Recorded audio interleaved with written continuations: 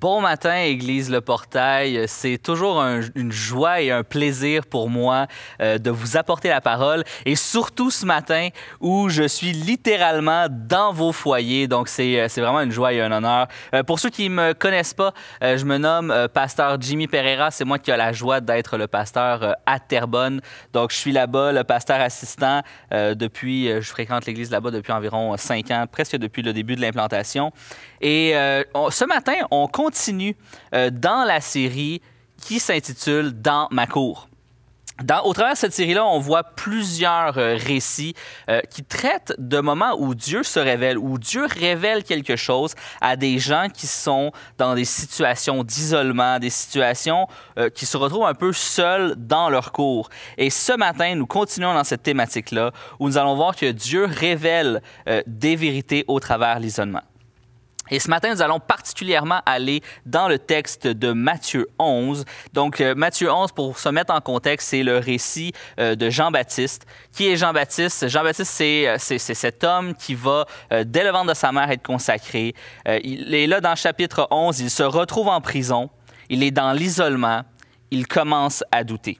Il faut se mettre en, il faut se mettre en contexte. Jean, c'est celui qui a baptisé Jésus. C'est celui qui a prêché dans le désert. C'est celui qui, avec un zèle, a été consacré pour préparer le chemin de Jésus. Et là, il fait quoi? Il arrive quoi? Il se retrouve là, comme ça. Le Messie est là. Il se retrouve dans un moment de doute. Il se retrouve en prison. Et là, on va pouvoir lire le texte Matthieu 11 dès les versets 2 donc, les versets vont, vous- vont apparaître à l'écran, mais comme je le dis toujours, je le dis à chaque fois que je prêche, si vous avez une Bible, prenez votre Bible, lisez-la, suivez avec moi. Si vous n'avez pas de Bible, c'est le temps ou jamais de s'en acheter une. Vous pouvez toujours avoir accès sur vos cellulaires. Il y a aussi des applications qui vous permettent de lire la Bible directement là. Donc, sans plus, sans plus tarder, Matthieu 11, à partir du verset 22, je vais faire la lecture intégrale du passage de ce matin. Or, Jean, dans sa prison, avait entendu parler des œuvres du Christ. Il envoya ses disciples lui demander Est-ce toi celui qui vient, ou dev- devons-nous en attendre un autre Jésus leur répondit Allez raconter à Jean ce que vous entendez et voyez. Les aveugles retrouvent la vue, les, les infirmes marchent, les lépreux sont purifiés, les sourds entendent, les morts se réveillent et la bonne nouvelle est annoncée aux pauvres. Heureux celui pour qui je ne serai pas une cause de chute. À leur départ, Jésus se mit à dire aux foules à propos de Jean, Qu'êtes-vous allé voir au désert? Un roseau agité par le vent? Alors qu'êtes-vous allé voir? Un homme vêtu de raffinement? Mais ceux qui s'habillent avec raffinement sont dans les maisons des rois? Qu'êtes-vous donc allé voir? Un prophète? Oui, je vous le dis, et plus qu'un prophète. C'est à son sujet qu'il est écrit, Moi j'envoie devant toi mon messager pour frayer ton chemin devant toi. Amen, je vous le dis, parmi ceux qui sont nés de femmes, il ne n'en s'est pas levé de plus grand que Jean le baptiseur. Cependant, le plus petit dans le royaume des cieux est plus grand que lui. Et c'est un texte qu'on a souvent lu, qu'on a souvent entendu. Et là, ce matin, on va voir ensemble comment est-ce que ça, ça s'applique à nous dans le contexte, dans ma cour ce matin. Et là, on peut voir directement, Jean se retrouve isolé, en prison, seul avec ses propres pensées. Hein, il se retrouve seul, il commence à douter, le doute commence à le prendre d'assaut. Et mettez-vous à sa place. Il est, il est là, isolé. Et ce matin, dans mon premier point s'intitule Le doute dans l'isolement. Le doute dans l'isolement, parce qu'on peut voir le texte, verset 2-3. Or, Jean à sa prison, il est dans la prison, avait entendu parler des œuvres du Christ, il l'envoya à ses disciples. Et c'est à ce moment-là que ses disciples vont demander Est-ce toi ou est-ce qu'on doit en entendre un autre Et on va voir dans ce, dans ce premier point trois, trois choses qui produisent les doutes. Premièrement, les situations difficiles produisent les doutes. Nous pouvons, on peut facilement se mettre à la place de Jean à ce moment-ci de l'histoire. hein. Euh, deux minutes, lorsqu'on réfléchit, on peut dire Jean est celui qui est zélé. Il était zélé, il a prêché dans le désert, il a baptisé Jésus, il a même dit aux, pharisiens, il les a traités de race de vipères. Jean est- est vraiment impliqué, là. il est vraiment impliqué dans ce qu'il fait. Sa récompense, c'est quoi? Sa récompense, c'est l'humiliation, la faim, la torture physique et psychologique, enfermé dans une prison du premier siècle. C'est pas les prisons comme on les connaît, avec un lit et des endroits confortables. C'est des prisons qui sont honnêtement répugnantes. C'est des prisons dans lesquelles tu veux pas être. C'est des prisons qui sont sombres, où les gens sont laissés là pour mourir. Alors que Jean a été celui qui a prêché la venue de Jésus, qui a baptisé Jésus, sa récompense, c'est quoi? Il se retrouve là, en prison. Et peut-être que c'est ton cas ce matin. Peut-être que toi, tu, vis en ce moment des circonstances difficiles. Dans l'isolement de où tu es, peut-être que tu as vécu, tu vis encore des remises en question et tu remets en doute, tu remets en question Jésus. Hein, peut-être que tu as eu cette fameuse phrase, la fameuse phrase qui dit ah, Qu'est-ce que j'ai fait au bon Dieu pour mériter ça? Et on peut, on peut s'imaginer, on peut extrapoler que Jean, à ce moment-là, peut dire exactement la même chose. Mais qu'est-ce que j'ai fait à Dieu pour me retrouver là? Peut-être que tu as vécu des choses intenses pendant le, confinement, pendant les derniers mois. Peut-être que ça a été un diagnostic. Hein, là, tu ne peux pas voir tes proches, puis tu as reçu un diagnostic médical. Peut-être tu as eu des problèmes de couple, alors que le couple était ensemble tout le temps, vous, vous avez commencé à avoir des problèmes. Peut-être que tu es tombé dans un péché récurrent. Puis là, tout ça est en train de te gruger, puis tu te poses la question. Est-ce que Jésus, Jésus est vraiment... Est-ce que, je, est que crois la bonne chose? Est-ce que, que ma foi, elle est bien placée? Est-ce que Dieu existe? Et là, tu te retrouves avec des doutes. Parce que les situations difficiles produisent le doute. Deuxièmement, les attentes non rencontrées produisent aussi le doute. Lorsqu'on regarde au travers les évangiles, au travers un peu les écrits, on peut voir que le peuple juif attendait un Messie.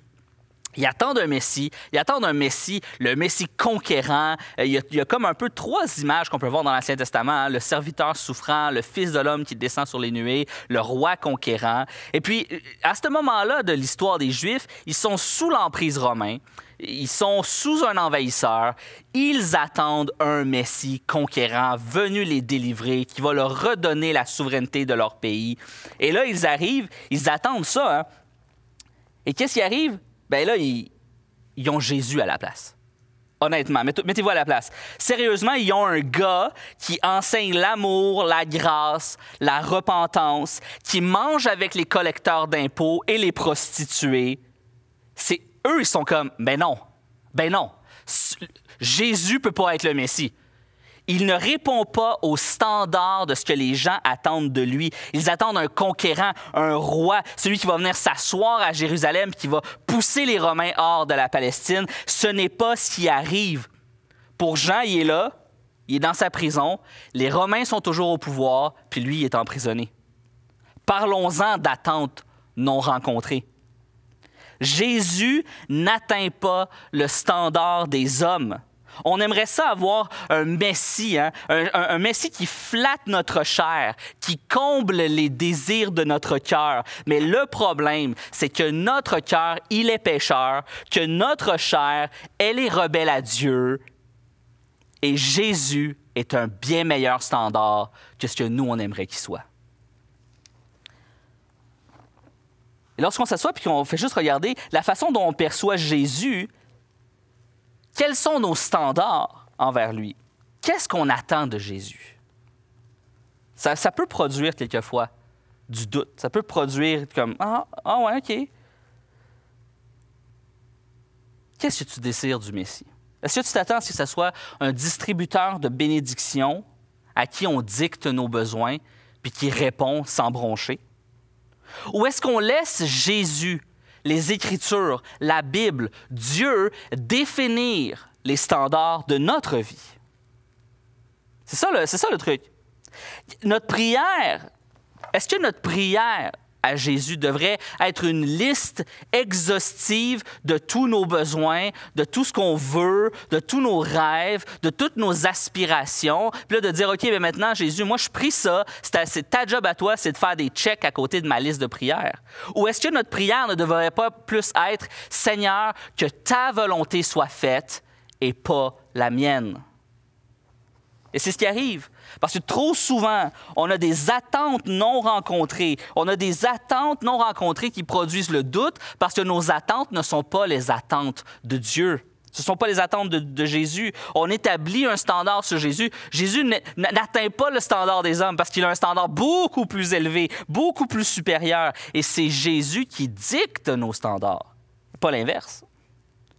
Troisièmement, nous avons la perception limitée que nous avons, quelquefois même par nos circonstances, produisent le doute. Jean se retrouve en prison en ce moment-là il pas, sa vision, sa perspective ne peut pas être plus limitée. C'est limité à quatre murs, lui, seul, avec ses pensées. Il a entendu parler des œuvres de Christ. Il ne peut pas les voir, il ne peut pas les expérimenter, il ne peut pas juste demander à Jésus. Il doit envoyer ses disciples. ses circonstances actuelles le limitent. Sa perception des événements est limitée. Tout ce qu'il peut voir, c'est son propre état. Tout ce qu'il peut voir, c'est je suis emprisonné. Sa condition désagréable actuelle vient influencer sa perception des circonstances. Et c'est pourquoi nous-mêmes, Honnêtement, on, dans les derniers mois, on a vécu euh, la, pandémie, on a vécu l'isolement, on a vécu des phases de, oups, euh, les, révélations de la CHSLD, tous ces trucs-là. Euh, les, circonstances actuelles, on, on aurait été en droit de juste se poser comme question, mais Jésus, tu fais quoi? Qu'est-ce que tu fais? Pourquoi tu permets ça? L'Église ne peut pas se rassembler. Jésus, pourquoi tu permets ça? Mais les circonstances si on regarde, ce n'est que quelques mois, ce n'est qu'un temps. Le plan de Dieu dépasse ça. Puis quelquefois, c'est juste normal hein, que, que les circonstances de nos vies semblent juste insurmontables, trop difficiles, ingérables. Soyons honnêtes, des fois, la vie nous frappe avec une telle violence qu'on se retrouve avec le nez collé sur le tableau, puis tout ce qu'on voit, c'est une portion du tableau. On n'est plus capable de voir l'ensemble. Et c'est là qu'on doute. Parce qu'on a une perception limitée par nos circonstances d'un plan qui est beaucoup plus grand. Et là, peut-être que là, tu, m'entends, tu m'entends prêcher, tu dis, OK, OK, OK, OK, c'est bon, pasteur Jim, good. Mais là, tu parles juste de qu'est-ce qui provoque le doute. Maintenant, c'est quoi la solution au doute? Qu'est-ce qu'on fait pour surmonter le doute? Bien, en fait, merci. Merci de poser la question à la maison. Euh, c'est justement le deuxième point que je voulais parler avec vous ce matin. Mon deuxième point, Matthieu 11, 4, Jésus va leur répondre Allez raconter à Jean ce que vous entendez et ce que vous voyez. mon deuxième point, c'est l'antidote au doute. Jésus ici désire nous faire réfléchir. Hein. Euh, il répond pas directement à la question. Parce qu'on s'entend là, la question de Jean, elle est simple. Est-ce que c'est est -ce bien toi celui qui doit venir ou est-ce qu'on en entend un autre? À cette réponse-là, -là, c'est genre oui, oui, je suis celui qui vient ou non, vous devez en attendre un autre. Il me semble la réponse est claire. Jésus ne donne pas une réponse claire aux disciples, alors qu'il aurait pu répondre oui ou non. Il ne donne pas cette question, il va donner un enseignement. Et quelquefois, même très souvent, c'est un peu ce qu'on aimerait faire avec Dieu. On aimerait pouvoir crier à Dieu, on aimerait que, nos requêtes de prière soient juste un oui ou un non. Comme, Seigneur, oui ou non? Oui ou non? Simplement, directement. Dieu répond-moi. Mais la réponse que Jésus va donner à ce moment-là dans l'histoire nous guide encore aujourd'hui. Jésus, au travers ce, ce texte, va nous donner trois antidotes au doute. Premièrement, Jésus va commencer en citant la Bible comme réponse à la question de Jean. Il va citer Ésaïe 35, il va citer Ésaïe 61. Et là, on peut le retrouver ici dans Matthieu 11, 5. Les aveugles retrouvent la vue, les infirmes marchent, les lépreux sont purifiés, les sourds entendent, les morts se réveillent, et la bonne nouvelle est annoncée aux pauvres. C'est une citation directe de Ésaïe 35. Ici, là, ce que Jésus est en train de dire, c'est allez dire à, allez dire à Jean, Jean connaît les Écritures. Allez dire à Jean qui se souviennent des Écritures. La Bible devrait être le premier refuge vers lequel on va lorsque nous sommes nous-mêmes dans le doute. Parce que Dieu parle encore aujourd'hui en 2020. Et là, je devrais entendre un Amen à la maison. Un Amen que je n'entendrai pas, mais que je reçois par l'Esprit. Dieu parle encore aujourd'hui en 2020 par sa parole. C'est la révélation de sa volonté, son œuvre pour nous, son plan éternel, l'assurance que nous avons en lui. C'est dans la Bible que nous la retrouvons. Dieu parle, Dieu nous rassure, Dieu nous rappelle, Dieu nous console, Dieu nous exhorte encore aujourd'hui par sa parole. Amen. Et trop de gens, trop de gens disent, Dieu, Dieu me, me répond pas. Dieu me parle pas. J'entends pas la voix de Dieu. Mais lorsque je pose la question, combien de fois est-ce que tu lis ta Bible? Est-ce que tu as lu ta Bible? Trop de fois, le résultat, c'est une Bible sur la table de chevet couverte de poussière. Comment espères-tu que Dieu te parle si tu ne vas pas dans sa parole? Comment espères-tu que Dieu réponde à tes doutes, à tes questionnements, à tes souffrances, si premièrement tu ne vas pas vers lui dans la parole? Alors le premier antidote au doute, c'est la parole. C'est ce, que, Jésus va faire. Il va directement citer la parole. Ensuite, en Matthieu 11, 6, il va dire Heureux celui pour qui je ne serai pas une cause de chute. Le deuxième antidote au doute, c'est la soumission. Oh là là là là. Je le sais que c'est un mot qui fait mal. Je le sais que c'est un mot qu'on n'aime pas entendre. La soumission, ça fait comme oh, ça fait vieux jeu, ça fait comme ah.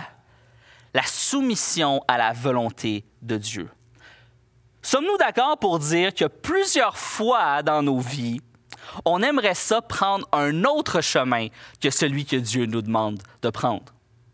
Hein? Il y a plusieurs fois dans ma vie où je, le savais que Dieu m'emmenait là, je savais ce qui était la volonté de Dieu, je regardais le chemin devant moi, puis j'étais comme, ah, c'est, ça, ça me tente pas, ça me tente pas. Et maintenant, c'est ma responsabilité de marcher dans le chemin que Dieu m'a donné. Je dois me soumettre.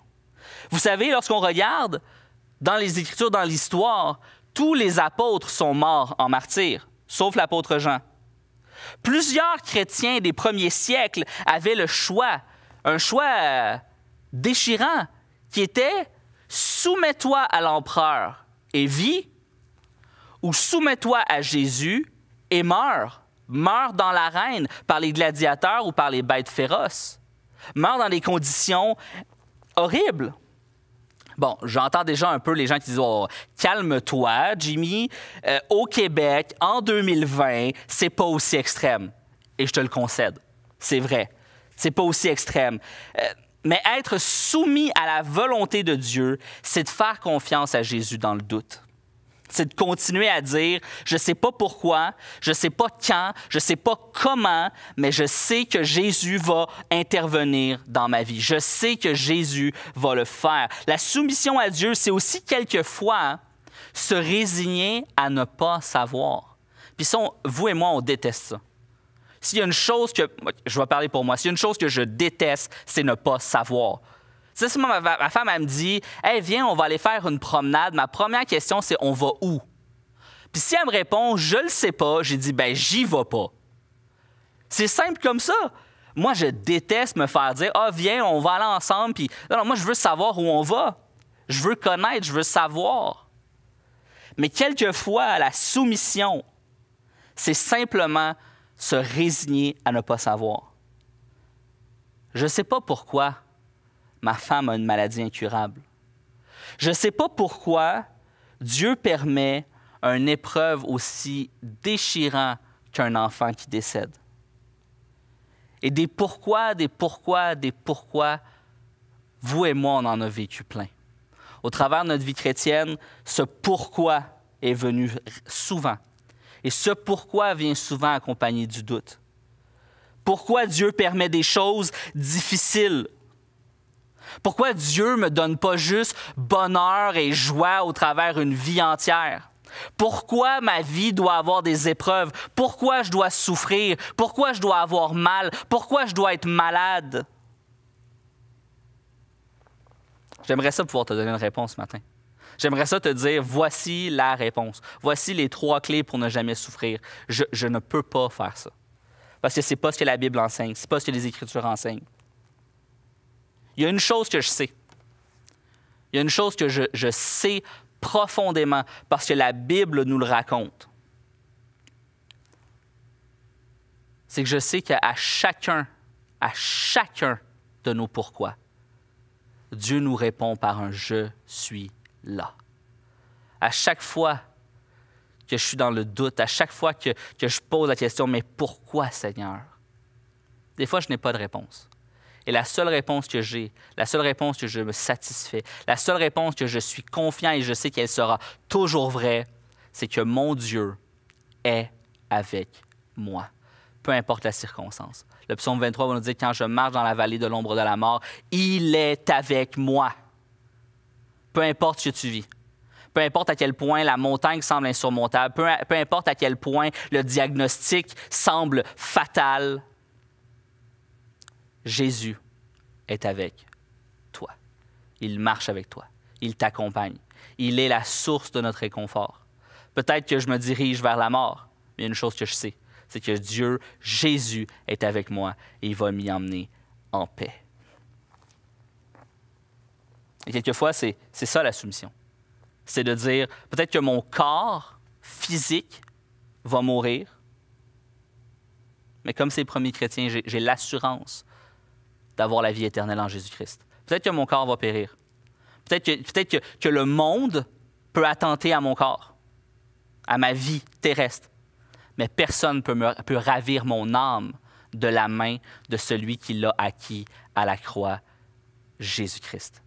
Personne ne peut ravir mon âme de sa main. Amen. La soumission. C'est pour ça que je suis capable de me soumettre à Dieu. C'est pour ça que je veux volontairement me soumettre à lui. Parce que je sais qu'il est fidèle et juste. Parce que je le sais qu'il connaît le meilleur pour moi. Parce que je le sais que peu importe ce que je vais traverser, il va être avec moi.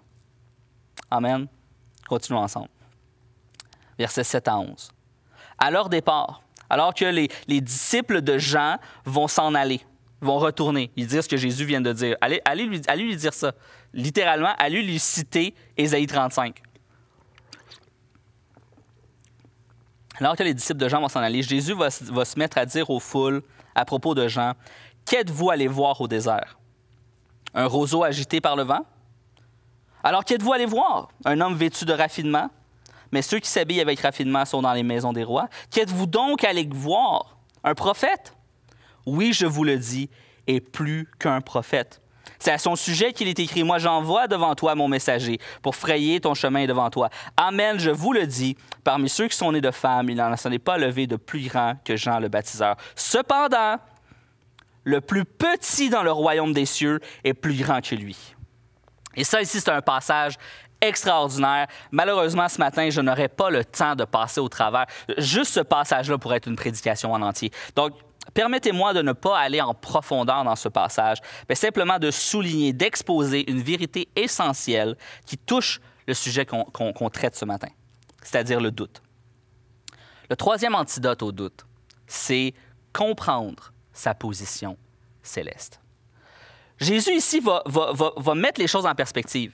Il va dire, parce que le peuple prenait en considération Jean. Jean le baptiseur, c'était quelqu'un d'important. Même que le, Sanhédrin, hein, les, pharisiens de l'époque, avaient peur de s'en prendre à Jean le baptiseur parce qu'ils disaient, ben, si on s'en prend à lui, le peuple... Euh, le peuple sera pas content parce que le peuple voyait en lui littéralement un vrai prophète.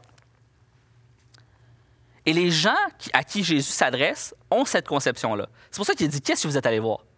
Est-ce que vous êtes allé voir pourquoi? Parce que c'est un prophète. Et encore plus que ça. Il est en train de rétablir la position de Jean, en train de dire peut-être qu'en ce moment il est en prison, là, mais c'est pas parce qu'il n'est pas sous la volonté de Dieu, c'est pas parce qu'il n'a pas fait son travail, c'est que ça fait partie du chemin du chrétien. La persécution, ça fait partie de la vie chrétienne. Mais regardez ce qu'il dit. Il dit le plus petit dans le royaume des cieux est plus grand que lui. Jésus est en train de nous parler de notre position céleste en Jésus-Christ. Lorsque nous comprenons fondamentalement qui nous sommes en Jésus, ce que Jésus a accompli pour nous, à quel point nous sommes libres en lui, à quel point soudainement nous sommes libérés du joug de notre passé, pour moi, en tout cas, je vais parler pour moi, ça l'atténue le doute, ça, ça supprime le doute, ça l'enlève. Parce que c'est le troisième antidote, comprendre sa position. Lorsque. moi, je fais toujours la distinction entre savoir et connaître. Du savoir, on peut en avoir plein. Je peux savoir que ma femme m'aime. Je peux savoir que mes enfants m'aiment. Mais il y a une différence entre le savoir et l'expérimenter. Hein, le connaître. Quand ma femme vient me faire un câlin, qu'elle me donne un bec, qu'elle me dit je t'aime, je connais, là, je viens d'expérimenter son amour faire partie du royaume des cieux, connaître cette vérité de notre position céleste en Jésus, c'est de savoir je suis aimé. Pas juste le savoir, c'est l'expérimenter. Je suis aimé. Tu es aimé. À la maison, tu es aimé. Jésus t'aime. Comprends-le, absorbe-le, connais-le. Jésus t'aime. C'est pas juste une connaissance, c'est pas juste quelque chose qu'on dit, c'est quelque chose qu'on vit, c'est quelque chose qu'on ressent, c'est quelque chose qu'on sait on a une position de frère avec Jésus. On a une position d'enfant de Dieu. On a une position qu'on prend part concrètement à l'avancement du royaume des cieux.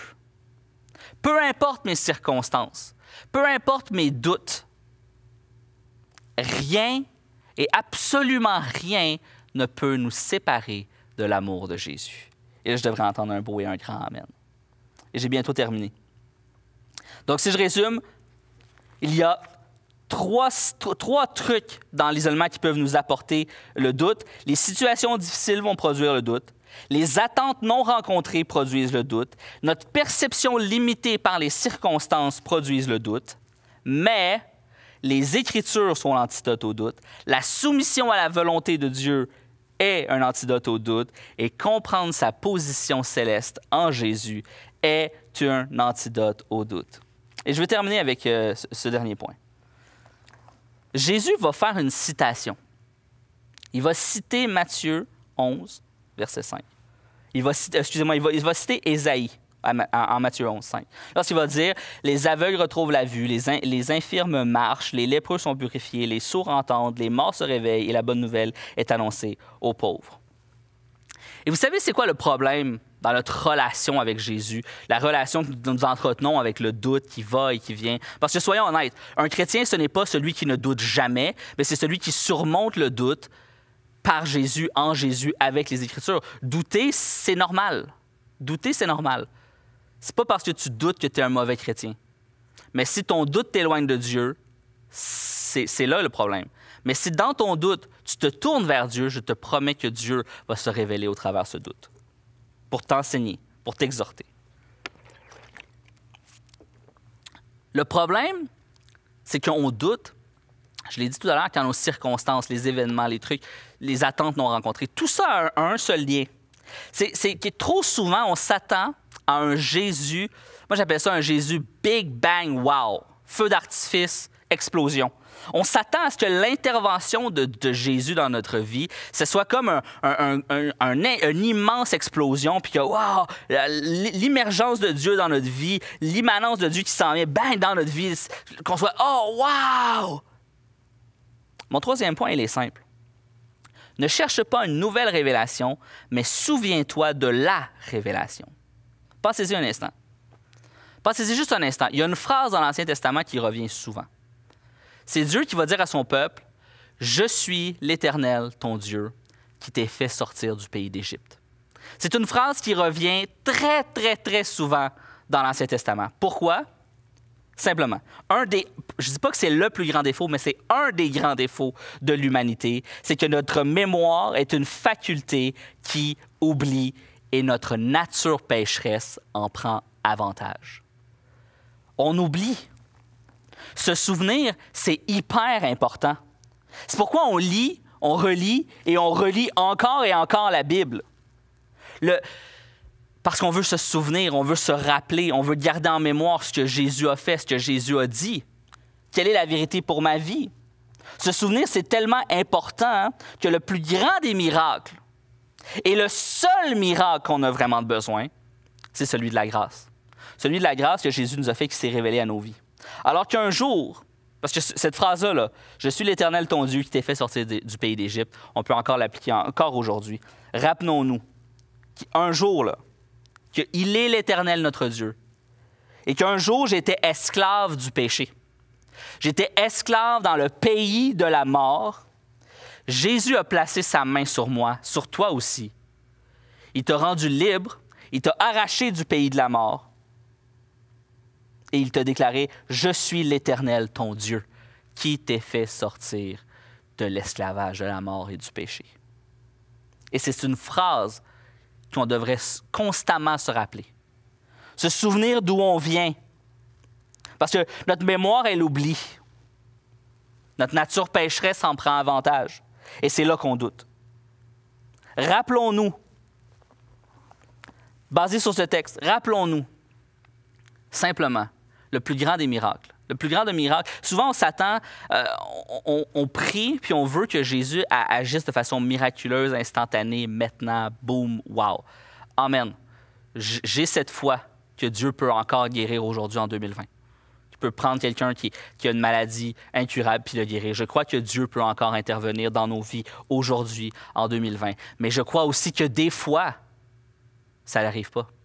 Des fois, le miracle tant attendu n'arrive pas. Des fois, la guérison tant attendue n'arrive pas. Des fois, on prie pour avoir un enfant et ça n'arrive pas.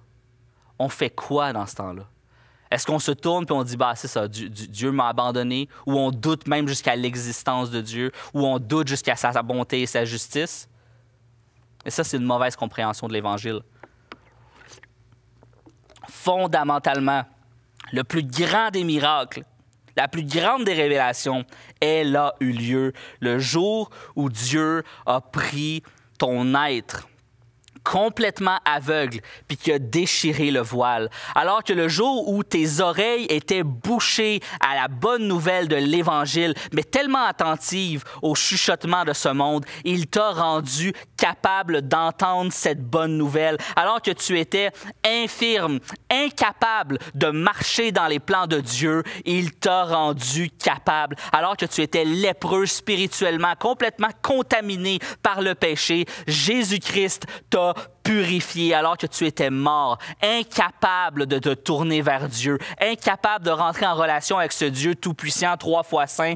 Il a donné sa vie pour que tu sois déclaré maintenant vivant alors que tu étais pauvre en esprit, il t'a donné son esprit. Voilà le plus grand des miracles de la Bible. Voilà la plus grande des, révélations. Souviens-toi que tu étais aveugle, sourd, infirme, lépreux, mort et pauvre en esprit, que Jésus est venu et qu'il t'a donné tout ça. Il t'a enlevé de ton aveuglement spirituel, il t'a rendu capable d'entendre sa parole, il t'a rendu apte à marcher dans ses voies, il t'a purifié de ta lèpre spirituelle, il t'a rendu vivant et pleinement riche en lui.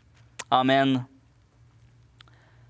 Tu as besoin, tu as besoin d'entendre la bonne nouvelle chaque jour. C'est pour ça que chaque fois que je prêche, je prends jamais pour acquis. Jamais, jamais je prends pour acquis que tout le monde a bien compris et bien saisi la bonne nouvelle de Jésus. C'est pourquoi je la répète encore et encore et encore et encore. Puis si tu me dis, hey, Jim, je suis tanné de l'entendre, mais je vais le répéter encore parce que je sais une chose capitale, c'est que notre mémoire est une faculté qui oublie. Et je ne veux pas qu'un jour, parce que tu as oublié ce que Dieu a fait pour toi, tu sombres dans le doute tu as besoin, j'ai besoin, nous avons besoin en tant qu'Église d'entendre la bonne nouvelle de la grâce chaque jour. Souviens-toi que tu étais pécheur, que je suis pécheur, que nous sommes pécheurs. Souviens-toi que nous étions morts et que Dieu a envoyé Jésus sur terre. Pas pour simplement faire des bonnes œuvres, mais pour marcher parfaitement, une vie de parfaite obéissance. Souviens-toi qu'il est allé jusqu'à la croix mourir. Hein, la Bible dit qu'alors qu'on aurait de la difficulté à mourir pour un seul juste, lui, il est mort pour les injustes. Il a versé son sang à la croix. Ce sang versé qui te lave de tes péchés, qui te libère. Souviens-toi que tu as été sauvé. Souviens-toi que maintenant, en Jésus, tu as la vie éternelle. Tout ça, lorsqu'on s'en souvient, remet beaucoup en perspective nos situations actuelles, nos circonstances actuelles. Et, comprends-moi bien, je ne veux pas minimiser ce que tu vis. Bien au contraire, Jésus ne minimise, ne minimise pas nos circonstances et ce que nous vivons. Ce que je te demande, c'est de remettre les choses en perspective. Puis de simplement te soumettre à Dieu, puis de dire, Seigneur, nous prions ensemble pour ton, ton miracle dans nos vies Mais quelquefois, ta réponse est juste non. Et ça ne changera pas que tu restes un Dieu bon, que tu restes un Dieu fidèle, que tu restes un Dieu que je suis avec joie et avec assurance. C'était la parole que j'avais pour vous euh, ce matin. Donc, cette, cette révélation de ce Dieu Tout-Puissant qui vient anéantir le doute et qui vient simplement focuser nos regards sur lui, sur ce qu'il a fait. Souviens-toi de ce qu'il a fait. Et allons prier ensemble. Premièrement, j'aimerais prier pour, euh, pour toi qui nous écoutes et qui, euh, peut-être ce matin, toi, tu ne te considères pas vraiment chrétien, tu es, arrivé, toi, tu, crois que tu es arrivé par hasard sur ce vidéo-là. Moi, je crois que Dieu t'a guidé vers ce vidéo-là. Et tu entends, et tu entends ce message. Tu entends cette bonne nouvelle. Ce Dieu trois fois saint qui a marché, qui est venu, qui donne sa vie, qui, veut te donner une vie nouvelle, une vie en abondance, qui veut te laver de tes péchés, qui veut marcher avec toi dans les circonstances. Et Dieu te touche. Alors, si c'est ton cas, simplement à la maison, là où tu es. Comme j'ai dit, c'est pas besoin de feu d'artifice ou de big ou de bang. Là où tu es, tu peux donner ta vie. Tu peux confier ta vie entre les mains de Jésus. Il te voit, il te connaît, il t'attend. Alors là où tu es, simplement, élève ta voix, prie, prie comme tu veux. Jésus ne juge pas nos prières. Il veut juger la sincérité de nos cœurs. Alors remets-toi à lui. Et je veux aussi prier pour, euh, pour tous les autres. Tous les autres, ceux, qui, se, qui, se, disent chrétiens, que ça fait peut-être euh, quelques mois ou quelques années que tu, tu fais ta marche avec, euh, avec Dieu. J'aimerais prier que Seigneur, tu puisses, euh, que ça, soit aussi votre prière à la maison. Que Dieu puisse venir nous, raviver notre mémoire. Qu'il vienne rafraîchir nos souvenirs. Rappelle-nous, Père éternel, tout ce que tu as déjà fait pour nous. Rappelle-nous comment il y a un avant toi, il y a un après. Rappelle-nous, Seigneur, à quel point nous sommes, nous avons été, nous avons été sauvés, Seigneur, par du jugement, de la colère, d'une éternité sans toi. Rappelle-nous l'horreur de ne pas être avec toi. Seigneur, dans nos circonstances difficiles, viens nous rappeler que tu nous as fait sortir du pays d'Égypte. Viens nous rappeler que tu marches constamment à nos côtés. Père éternel, pour ce matin, simplement, ceux qui ont besoin de consolation, viens consoler ceux qui ont besoin de consolation. Ceux qui sont découragés, Seigneur, ou qui sont accablés par le doute, viens leur rappeler à quel point tu es présent, à quel point tu es là. Viens leur rappeler, Seigneur, toutes les merveilles que tu as faites dans leur vie avant, le nombre de fois que tu as répondu à leurs prières. Viens répondre, Seigneur, encore aujourd'hui à nos prières. Continue de faire ton œuvre encore aujourd'hui dans nos vies. Seigneur, je te prie au nom de toute l'Église Le Portail, que tu puisses placer ta main, Seigneur, sur chaque personne qui s'est joint à nous, chaque personne qui écoute ce message. Seigneur, place ta main et rappelle, rappelle à ton peuple. Euh, ravive notre, mémoire encore et encore. Que chaque fois, Seigneur, que le doute commence à prendre place dans nos cœurs, que, que ta voix puisse être comme un écho et qui nous dit, souviens-toi, souviens, je suis ton Dieu qui t'ait fait sortir du pays d'Égypte.